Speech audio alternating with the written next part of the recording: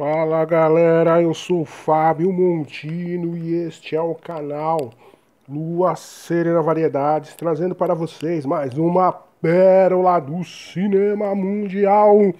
E para vocês, desse grande diretor espanhol, vencedor do Oscar de 2003, Almodóvar, o filme Kika, uma comédia memorável só, contra a capa do filme, gente. Vamos lá, olha só, fotinhos. Sinopse rápida.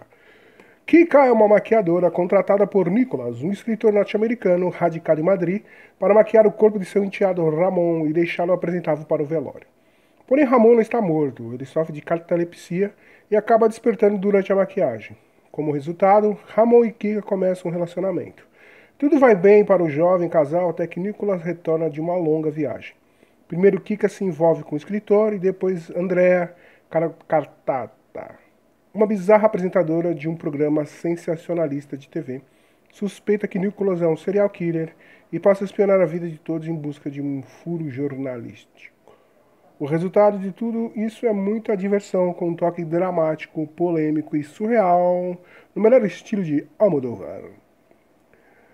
Legendas português, idioma espanhol e duração do filme, gente, 114 minutos. Bem, gente, na boa, vale a pena assistir. É muito engraçado esse filme, apesar que tem esse toque mesmo dramático do Almodóvar, mas vale a pena assistir. Beleza, gente?